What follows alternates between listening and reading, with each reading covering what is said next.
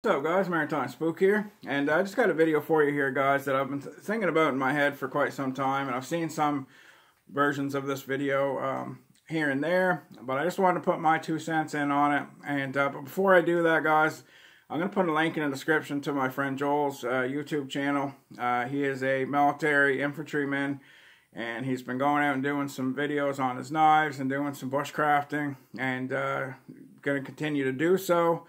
And I just want, I'm going to put a link in the description, like I said. Go over and give him a sub, guys. Um, for one, he's a veteran, and he deserves all our respect, no matter what. Um, that's number one. And number two, he has very good insight into knives and, uh, you know, knowledge, very knowledgeable with the knives he carries. And he's carried them in both a civilian and a military role. So right there, that's going to give him insight that a lot of us won't have. So shout out to Joel, Forsythe Bushcraft and Blades. I'm going to put a link in the description. Shout out to his wife Amanda. Military wives don't get enough credit, guys. Uh, military wife is just as important a lot of time to the soldier because for one, they're fighting harder to get back to that loved one, uh, their wife, and two, the wives are the ones at home making making it happen and getting them, you know, able to come home to something um, and also the resilience to put up with having to have their loved one away, making it so people like me and you can shoot these videos and have freedom. So shout out to you too, Amanda. But uh, link in the description, Bush, Joel's uh, channel, Forsythe Bushcraft and Blades. So check that out. But uh, I'll remind you at the end of the video as well. But one thing I want, what my, what I wanted to get into, guys, is yes or no on taking a multi-tool on the show alone. A lot of us have got into watching the show. I know three or four uh, of the actual winners, even personally from social media. Um, camped out with Wayne, who was on season one. He come out here and camped out here at the ridge on our land, and uh, just you know, good fellow too. So got little connections of talking to people here and there on the show.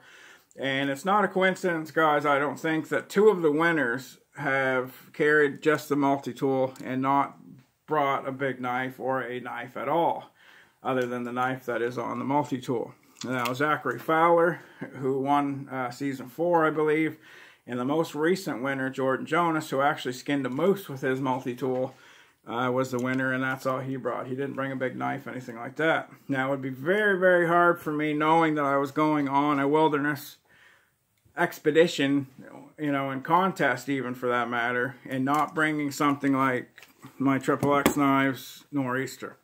I always said if I were to bring a knife on any show like that, or if I could only bring one knife with me at all, it would be this Triple X Knives Nor'easter because I know I know Derek's work. I know this is a very very strong knife. It's got a six inch blade, so batoning and uh, heavier work and even a bit of light chopping is going to be no problem. It's in M2 steel, which is a freaking awesome steel. And uh, the full flat grind makes it good at bushcraft and things like that, but it also makes it good at utilitarian uh, jobs that you'd be doing around the camp and things like that too. So it'd be very hard for me not to bring this with me when I was thinking, saying, okay, you're only allowed to have 10 items. Um, not bring this would be hard.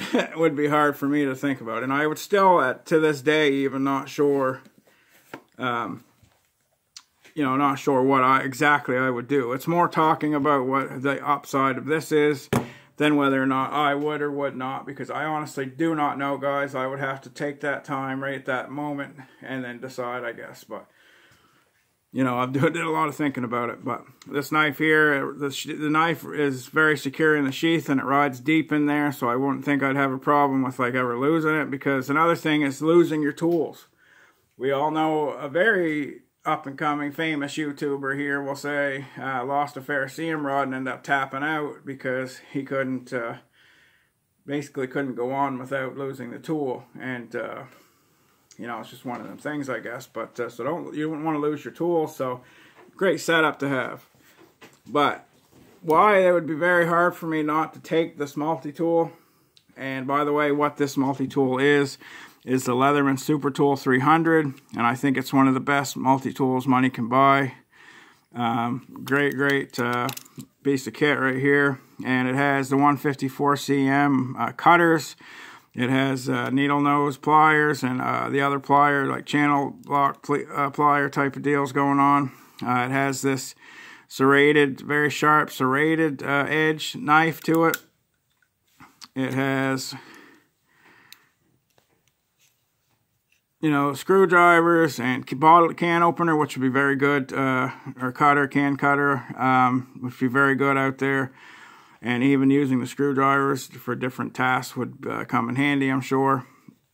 On that side, they all lock as well, guys, and I'll show you that mechanism in a second. Um, other screwdrivers and all, which would be awesome to have out there because you can poke holes through things and hides and, you know, use it for a million things, and it actually has the needle, excuse me, has the needle hole. So you can tie a knot on one end and actually use that like to to mend netting and stuff like that. So that all would be worth its weight in gold. And this particular, the Super Tool 300, has a file on it as well, which right there, I mean, you can use that to sharpen things and to, to build things as well. So that is a huge plus right there. And of course, it has a knife, which would be the kicker with not having a knife. Um, you know, not having a, a, bushcraft knife, we'll say, if this is what you took as, you know, that, that tool. Um, but it is a great knife. Jordan Jonas, who just won alone uh, the last season, he actually skinned a whole moose with it. And there's plenty of videos and documentation on uh, him doing so and talking about it. So, I mean, they're very, very good uh, that way. And one of the things I forgot to mention that this has, that I just thought of, it's very important and, and, very good on this particular tool is, and it has a whole bunch of fat wood on it right now, is this saw.